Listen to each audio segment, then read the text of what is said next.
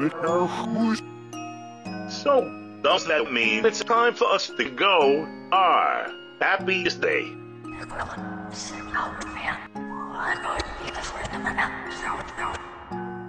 Oh.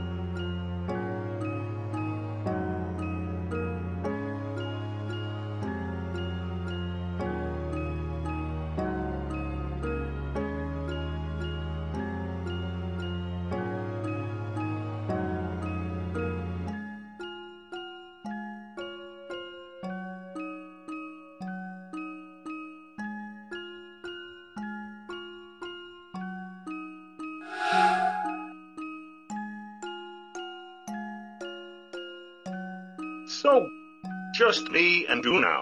A, Sportsy, and that purple moth. Look, I.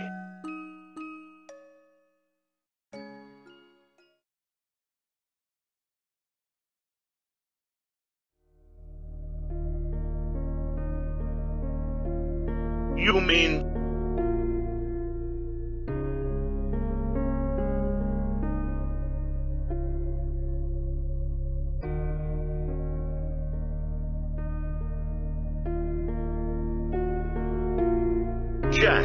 I don't know what to say.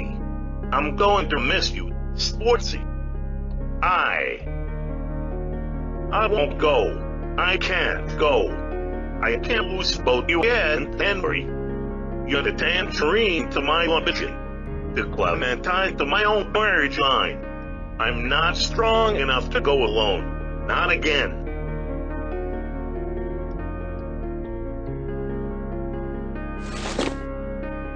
Sportsy, once, what did you just give me?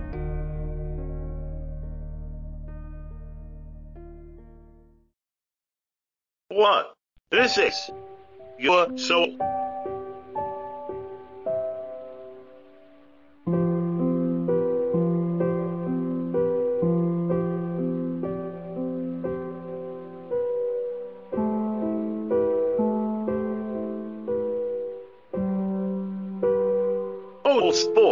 I.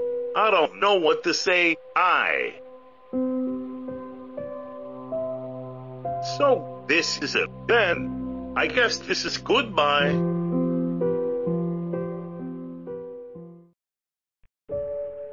Dave, you are a complete and utter weirdo. It shouldn't be at all hard to say goodbye to you. And yet, it is. Sportsy. I. Goodbye, William. I hope you can find peace with what you've done.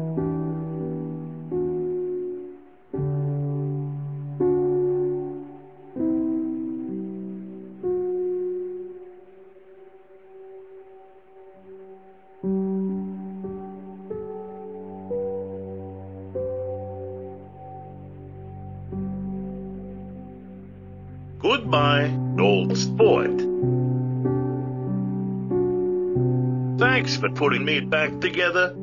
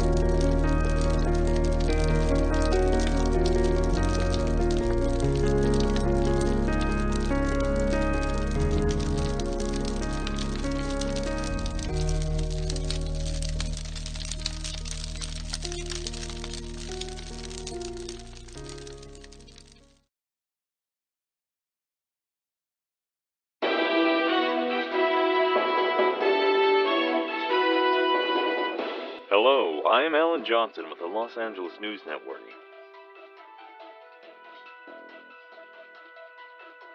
This just in, a local restaurant by the name of Bear. Seriously, who the heck writes this stuff? Has reportedly burned down in the early hours of this morning.